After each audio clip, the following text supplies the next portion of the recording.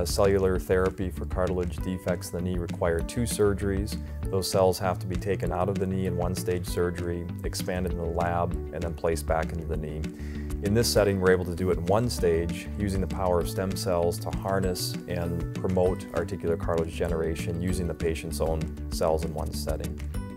So we started uh, really our, our search for a better solution um, really at, at, the bench top. So we wanted to study cartilage cells, um, what makes them produce different proteins and things. And what we found was that we could take cells, cartilage cells, and actually digest them uh, over a short period of time. And this was critical to accomplishing this in one stage. We also found that stem cells were able to stimulate the cartilage cells to do better at what they usually do, and that's produce proteoglycans uh, and other proteins to make them work well.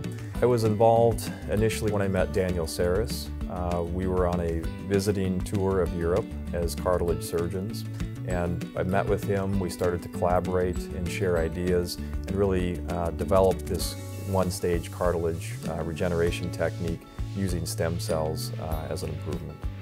Grant funding from Regenerative Medicine Minnesota is vital uh, to be able to fund a phase one clinical trial uh, from the FDA application process through treatment of our patients. The significant findings come from the first in man trial that enrolled 35 patients uh, that had um, cartilage regeneration in one stage. I think the most interesting uh, thing we discovered from that trial was we looked at the cartilage regeneration product and we did DNA analysis to test for the patient's own cartilage cells and then the allogeneic stem cells that were used to improve the cartilage regenerate. And what we found was that in the final product at one year, it was all the patient's own cells. So this was some of the initial proof that stem cells provide some of the stimulation uh, and improve what the body's own cells can do.